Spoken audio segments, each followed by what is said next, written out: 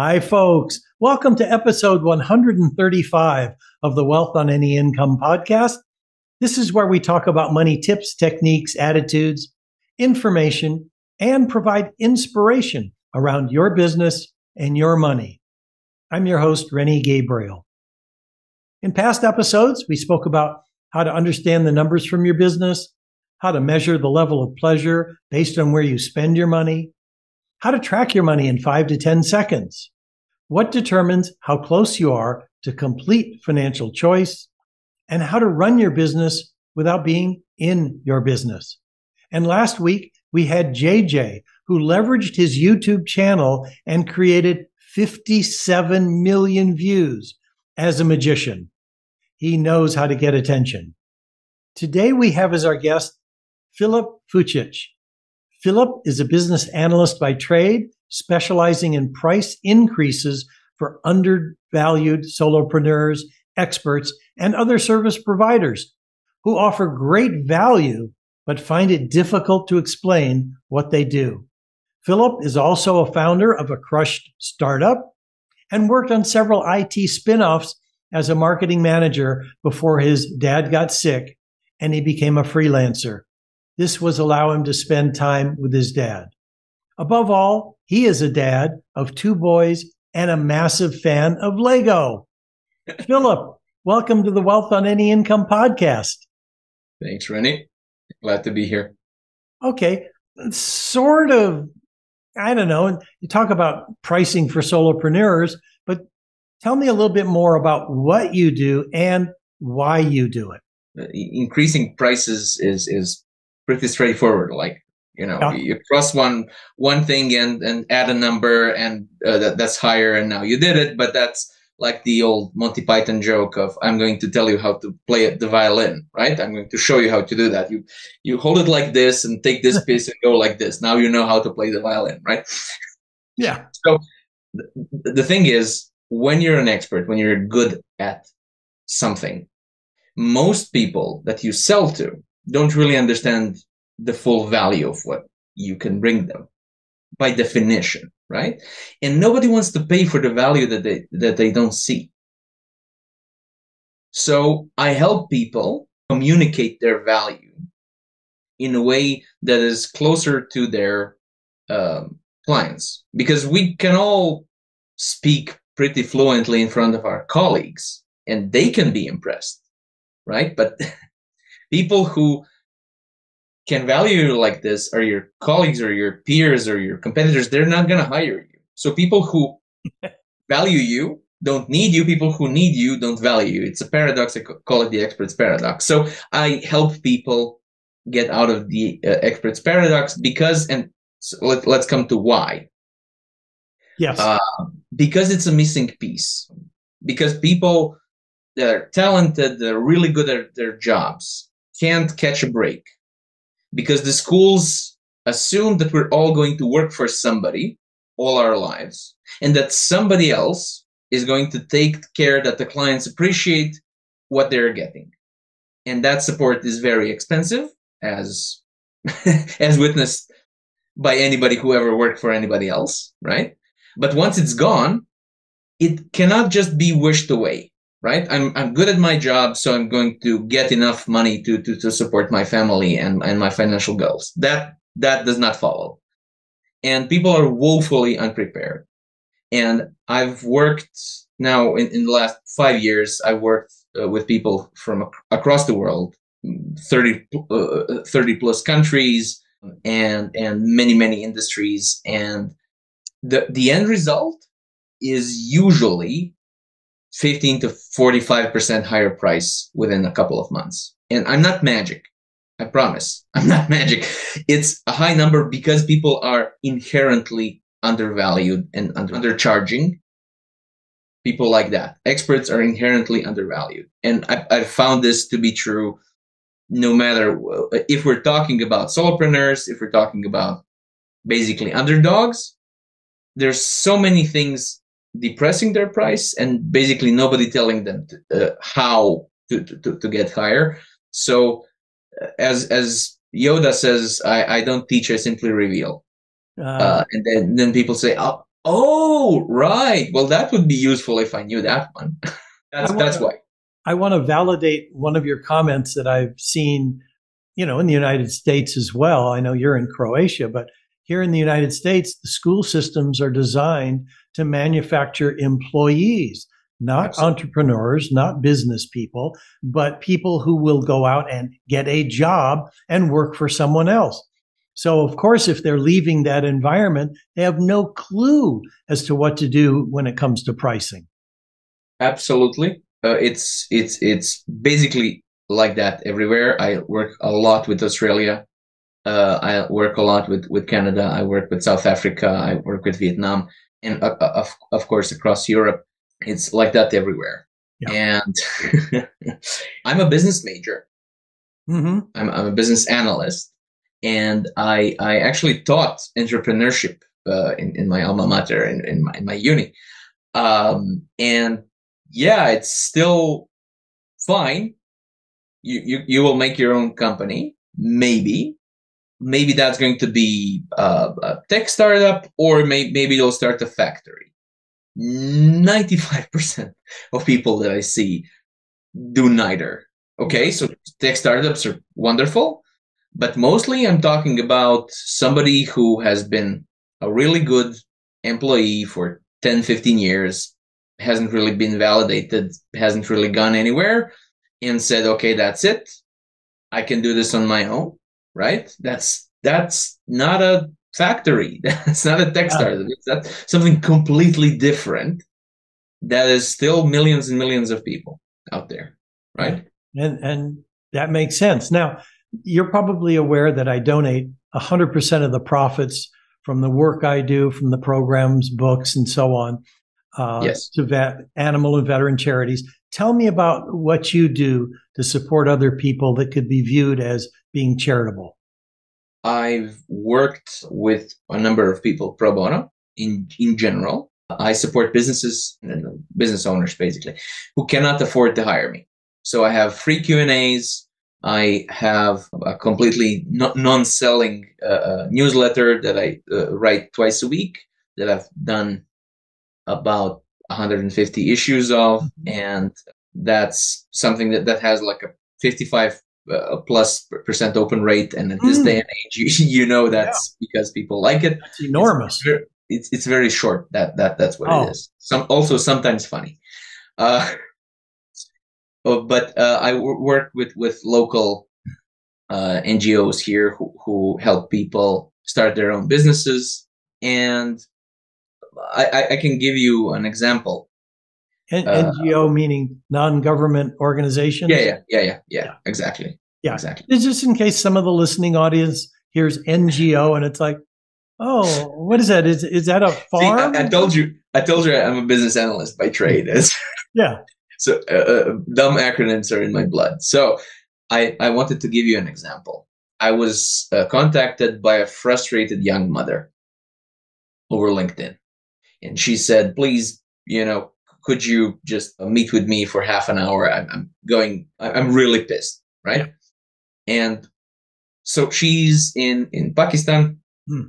and she does web as many people from there do. Yeah. And her rate is about $3 an hour. Oh. And oh. yeah. Uh, for Pakistan, if that's a lot or a little. No, that's not, that's not a lot. For, it's not for, a lot no matter where you are. Okay. Exactly. Exactly. And so I asked her what her dream rate was. So dream rate. And she yeah. said $25 an hour would be an absolute dream. So that's not I'm going rich rate, but that's like a solid rate. Mm-hmm. So $3 is not even close to close. Okay. Yeah. So what happened? Well, uh, she got, uh, she, she, usually does these uh, uh web revamps and uh, she prices them uh, at $700 and it's a significant chunk of time. So that's her price on her web. And she got an email that says, I have an offer for, for this already for 600. Can you go mm. lower? Oh, and the $700, that's, that's a three hour, hours, uh, uh yeah. $3 per hour rate, right? And she says, you know, nobody respects me. they, they can't even imagine what I, so, okay. And I said, yes, that's horrible. Let's uh, uh, let, let me give you a suggestion here. Firstly, would you even dream of doing this job for for for, for the money that that he is proposing? He's not propose. He's proposing that she goes against her own interests, right? That's her. Right. That's his proposal, right? And she said no, absolutely not. I said okay, great. So you can't lose a client that you, you that you never had, right? Right. Right. Now, go and look at th- this person's current web page and it's going to be trash. And she said, How do you know? Well, you know, he did this last time. Uh, somebody did something for him and said, Right. So, so it's going to be trash. Yeah. Then make a list of absolutely everything that you would change if you were paid properly. Okay. On that web page. Mm-hmm. Then enclose this to, to the uh, uh, reply and reply the following Dear Sir, I would be glad to, to work on this project. However, what you said that should be done is not everything that should be done. Everything that should be done is in, in the attached list. And I'll be happy to, to do that for 5,000. Mm. hmm And, and she said, well, he's going to say no. I said, why do you care? Right. Right. Why do you care? At least you're going to shock him back. At least. And she said, you know what? I'm, I'm angry enough. I'm going to do this. And she, she, she says she's going to do it. Next day, I, I get her pinging again. Please, please, please. Okay. What happened? What happened? His reply was, can you do it for 3,000? and she said, if I say yes, he, he will know that I caved and, and he, he will, I said, absolutely. He will keep on pushing. So we won't, we won't do that. We won't, this is what we do. Okay. We say, oh, that would be like bare, you know, bare minimum. If I'm going to do that for, for 3000, there's going to be four non-negotiable terms. One is uh, 20% upfront. Two is this little bit of text. Somebody else is going to do it. I'm not going to do it. It's about us. I'm not going to research. You can do it on your own. Three, if I like how this turns out, I'm going to use this without asking any further for as a reference. And four, you only get two change requests. After that, it's $25 an hour. Mm. Mm. So if you say yes to all of that, I can do that for 3000 End result, so it's it's not, not a very long story. End result, uh, they settled for three and a half because he didn't want to pay up front. She did the job. He paid. Fabulous. I I never charged her a dime, but uh, since then I get a lot of views from Karachi because she told all her friends, and and uh, uh, my material s- suddenly s- started spreading over over uh, over that part of the world, and clicks are something. Yeah, and uh, uh, the feeling that I helped was something. So this is this is something typical I have a list each year of people who send me a message or, or tell me, thanks, I used your free stuff and I increased my price.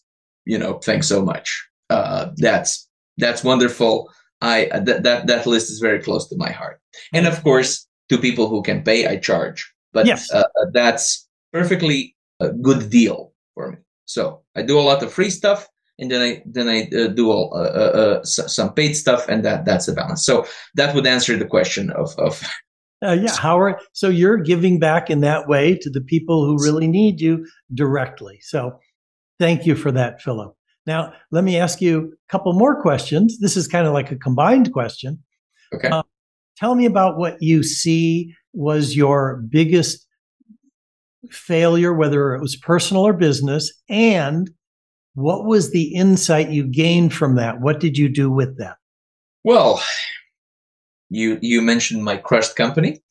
So right out of college, I founded a company based on an award award winning business plan at the time, and managed to to reach eight employed people. So, so eight employees before uh, the the financial crisis got us because people clients couldn't pay us, and and so we owed like one tenth of what we were owed, but Hmm. you know, at some point we just simply got crushed. Anyway, this left me with a lot of doubt and debt, which took years to clear. However, as you said, I you used it uh, for for something. Look, I realized just how hard value communication is. Mm-hmm. Just how hard do you have to work in in order to, to clients to see what you see for them, right? And it, it's a frustrating thing when when you know when you look at the client situation or he tells you that uh, their situation and you know you would be really good for them but they don't see it right i, I call i call that luck leverage right mm-hmm. it, it, it was if somebody was threatening you with a spear and you had a gun but they they never saw a gun so they start laughing what are you gonna do with that right and you know you can hurt them they, they, they keep on menacing. So, so you, you shoot the tree and they say, whoa, whoa, whoa, whoa, right? Yeah. Now we understand each other, right? so it's, it's locked leverage. That's, that's a concept that I got from, uh, from there. You, you, you can be a very, very, very good thing for the client and them not see. And it, it doesn't really matter what you see. It matters what they see because they they are making the the, the decision. So so sound the the insight you gain from that is how to apply that in your oh, current yes. business. Oh, and and and and the pricing. I mean, yeah. I, I price just like everybody else, which is using guesswork and and good well well wishing or copying other people's guesswork, also known as the going rate. Yeah, right. Yeah, and that's how people. So so I did many mistakes, really, many of them uh, in, in this area. And because I did them and I were, I was forced to, to recognize that I'm not bulletproof and that, that those were mistakes. And that's, that's a tough pill to swallow, I can tell you. Uh, and you probably know because I was confronted by the fact that I did all of the mistakes, I could learn from them and maybe teach some other people not to, to do my mistakes. They, they're entitled to their own, right? yeah. Something I, I want to circle back to, which I, I don't want anyone to overlook, was the conversation that you had with that lady in Pakistan. I think you said that's where it was. Yeah. And it, in any kind of negotiation where someone wants to pay less, I learned two things. And one of them is the client who wants you to do a lot of work for less money will always want you to do more work and even less money. Absolutely. So that cycle never stops. That's number one. And number two, what you said was, yes, she's willing to accept that price. However, she, there are things she has to take away from him that she would have done or things that she's asking for. The, the point is you don't just back off the price. but You say, fine, if I'm going to do it for that, then these are the situations that you have to agree to for us to come to that price. And so I think that's very important for everyone to understand about their business is don't just lower your price because it reduces not only your value in the client's eyes, but your value in your own eyes. Absolutely. Yeah. And she didn't just try to haggle. No. Right? She didn't say, oh, you know, I work very hard. I have a small kid. I deserve this. No, no, no, no, no. Yeah. The, the reason why this worked is, and so the, the guy ended up paying, you know, many times more than he yeah. offered. But the reason that, why that worked is because she uh, uh, corrected the brief. Yes. She showed him that if he did find somebody who will do it for 500, he would not get what he wants. What mm-hmm. he wants is all of these things, and he can't know that all of these things are wrong because he doesn't understand enough about the problem. Right? And because uh, without this correction of the brief, it wouldn't work. It wouldn't work. And she she she mentioned the, the twenty five uh, uh yes. dollar rate and, and, everything, and so, so it sounded like I'm actually going to get more by, by, by going with this lady than trying to, to, to, to find somebody to squeeze on the price because, you know, I tried this and it didn't really work. My, my, my, my uh, uh, web page is still faulty enough that, that I have to do this again. So this this is why this worked. If if she just tried to play hardball, it wouldn't work. Yes. Right? No, exactly. It, it was a negotiation, but an intelligent negotiation. And Exactly. so I'm going to assume, Filip, that my listening audience, there will be people who will want to reach out to you. Is there something that you can offer that also supports them and provides them a way to get in touch with you? I mean, Uh, a free, some sort of free offer? Sure, absolutely. So I'll, I'll uh, leave you leave you the link, uh, uh, but but I'll say so. So my my webpage is uh, uh, fearless-pricing.com. So just fearless pricing, basically. And there I have a start here sec- uh, section where there's now a, uh, 150 or something like that items that are that are free. Um, they, they are divided into some some sections. So negotiation pricing uh, scope control uh, things like that. So so you can drill down in, in, into into what you like. So these are like fixed assets that that you can always go and look and use. They're meant meant to be used. And uh, of course i have my uh, uh, free q and a's uh, which happen every so often but whoever has a question uh, can reach reach out to me either through uh, uh, email uh, or or uh, LinkedIn, Mhm. and I tend to use those questions. So so gather them and then make make a, live session where people either come and and ask me in person, or I answer a previously uh, asked question in writing. So I I talk about it. I don't gatekeep as in I say, well, now this this is the part that, that you get for free, and this is the part I know not everybody can afford this, and in return, I basically use what I say as content.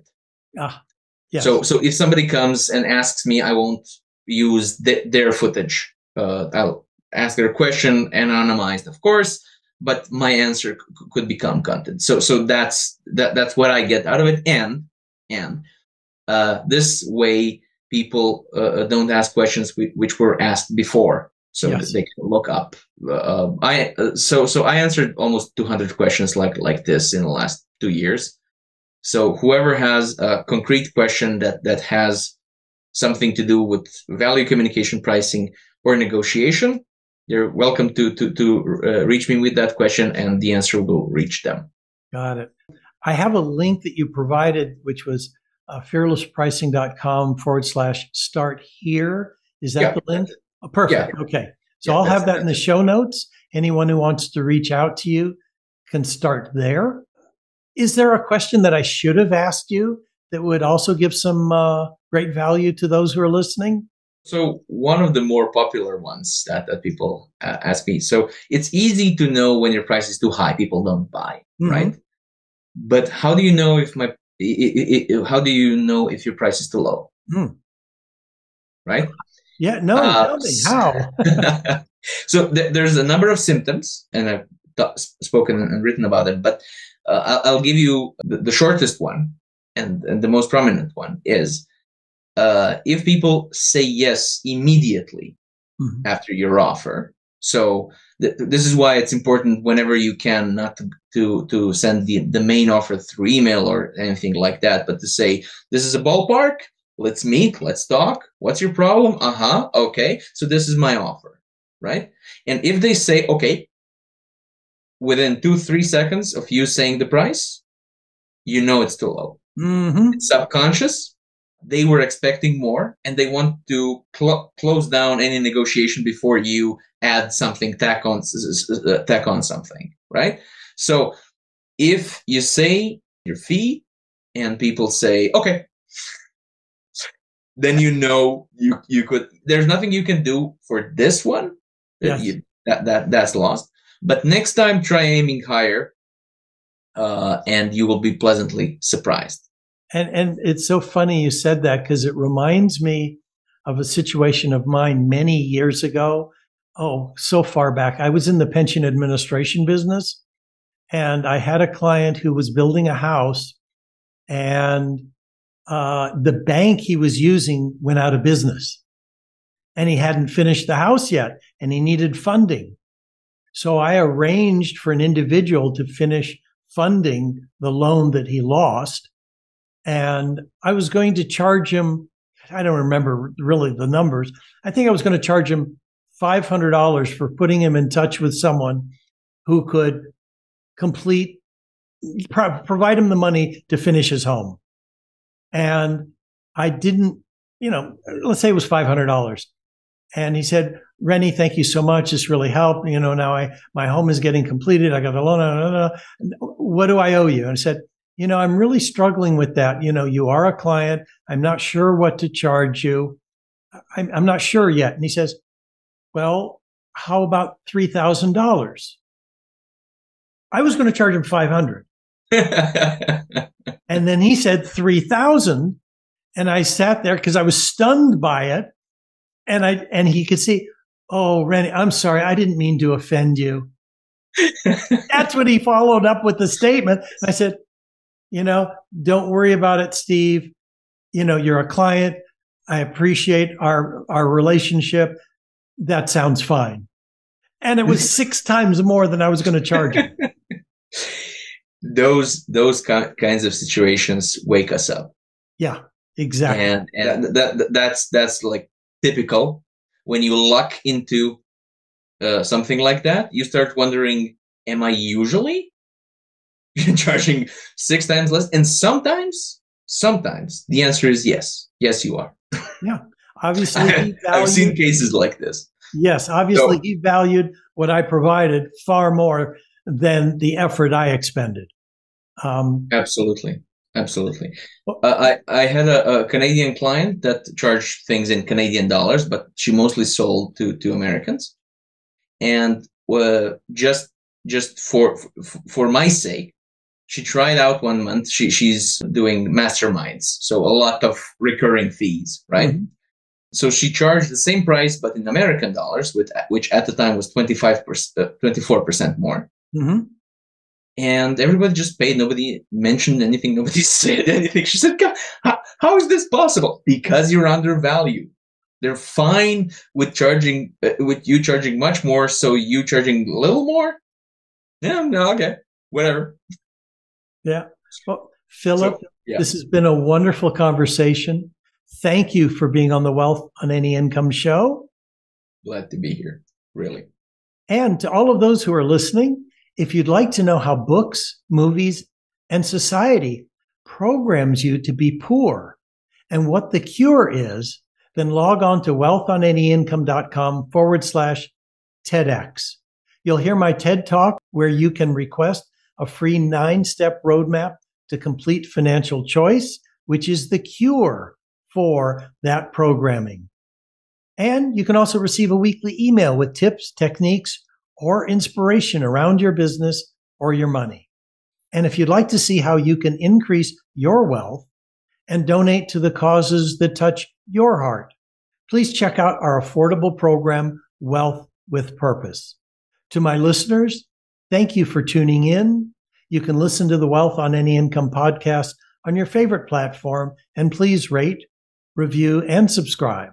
Until next week, be prosperous. Bye bye for now.